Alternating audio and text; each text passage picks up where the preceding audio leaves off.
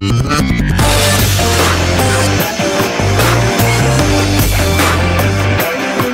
Desde la Municipalidad de Santa Fe convocan a participar de la hora del planeta aquí en la ciudad de Santa Fe, en el marco del Día Mundial de la Energía que decíamos precisamente hoy en las efemérides, se invita a formar parte de la jornada a las empresas, a emprendedores, establecimientos educativos y todas aquellas personas u organizaciones que trabajen por las energías alternativas.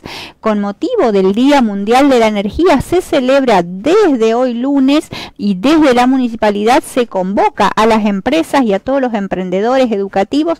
La idea es coordinar acciones en conjunto para la jornada denominada la hora del planeta. El Día Mundial de la Energía fue instituido por las Naciones Unidas con el objetivo de promover el uso de otras fuentes alternativas y disminuir la energía, las energías de, eh, de las fuentes no renovables. Estas fuentes de energía que abastecen a mayor parte del consumo mundial son las principales causantes de los cambios climáticos debido a la emisión de gases que profundizan el efecto invernadero. Está hecha la convocatoria entonces para todo el que esté interesado participar en esta gran jornada de la hora del planeta. Entonces, el planeta nos está pidiendo ayuda y llegó la hora de prestarle atención. La Municipalidad de Santa Fe está ofreciendo visitas guiadas a la tripulación del buque escuela Mandubí. Aquí en la ciudad de Santa Fe se concretaron dos recorridos guiados especiales para la tripulación de los cadetes del buque escuela de la Prefectura Naval Argentina, mm, el GC-43 Mandubí. Los recorridos fueron por los circuitos Casco Histórico y Manzanas Jesuíticas. La semana pasada arribó al puerto local el buque Mandubí, una embarcación escuela de la Prefectura Naval Argentina con cadetes que están cursando la etapa de práctica en sus entrenamientos a bordo de dicho navío.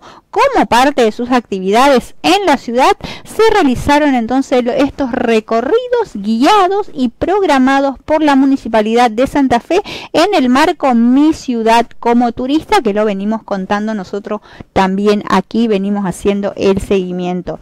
El buque llegó a nuestro puerto en el marco del entrenamiento de los cadetes y como actividad extra entonces están organizando estos paseos emblemáticos en la capital provincial. Vamos a otro tema.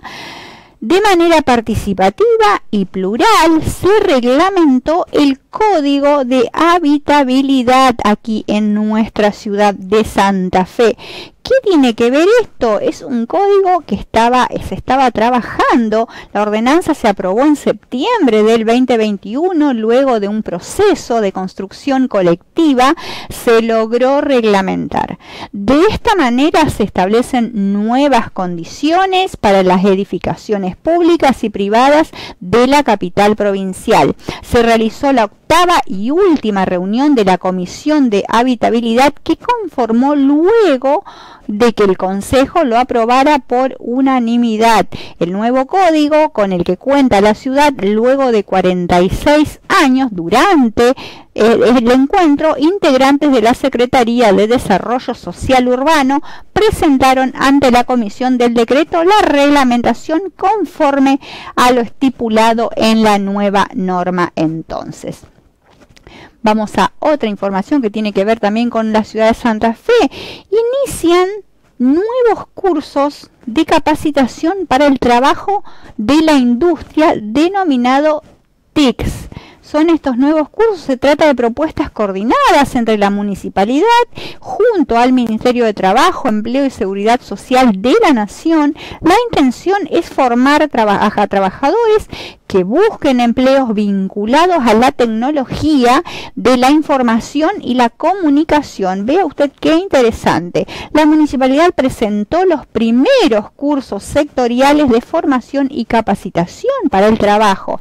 Se trata de propuestas elaboradas en conjunto con el Ministerio de Trabajo, Empleo y Seguridad de la Nación, junto a otras entidades, sindicatos, empresas, organizaciones sociales, que son coordinadas por la Dirección de Empleo y Trabajo Decente Municipalidad de Santa Fe. En esta oportunidad se trata de cursos de programación web, programador de aplicaciones, Android con App Inventor y Fundamentos de la Programación, dictado por la Universidad Tecnológica de Tucumán y el Instituto Tecnológico de Rafaela. Los mismos se encuadran en la línea de formación en oficios de la economía del conocimiento entonces otra propuesta entonces que queda abierta aquí para los santafesinos y muy bienvenido sea. Vamos a hablar ahora eh, de las recomendaciones que nos brindan en el caso de los alquileres, la municipalidad brinda recomendaciones a tener en cuenta al alquilar propiedades. Ante la vuelta a la presencialidad, vuelven los adolescentes a las facultades, vuelven a vivir aquí a la ciudad luego de dos años que se, han tenido que ir frente al inicio del ciclo lectivo 2022 con la presencialidad plena, la demanda de vivienda por parte de los estudiantes terciarios y universitarios se reactivó de modo increíble. Muchos alumnos que residían en otras localidades abandonaron la ciudad a raíz de la pandemia y ahora tienen que regresar, retomar sus estudios. Ante esta situación es muy importante contar con la información clara y precisa al momento de efectuar la locación de un inmueble donde van a vivir. Nosotros tenemos una nota al respecto. Las universidades e institutos están yendo un proceso en el cual eh, se vuelve a la presencialidad al 100%. Entonces hemos visto que la demanda de alquileres en la ciudad de muchos estudiantes que vuelven después del confinamiento, también muchos estudiantes que empiezan por primera vez, ha aumentado la demanda de alquileres y es por eso que desde la municipalidad hemos confeccionado una guía con recomendaciones básicas, tener en cuenta que a la hora de firmar un contrato, ese contrato eh, tiene que ser por tres años, ¿sí? lo cual hace que el inquilino tenga una mayor previsibilidad a la hora de planificar eh, dónde va a vivir. ¿sí? Eh, a partir del segundo año de ese contrato, la fórmula con la cual se aumenta el monto del alquiler está establecido por un índice que establece el Banco Nación. En esta guía que nosotros confeccionamos, tiene la página donde pueden ir calculando ese índice.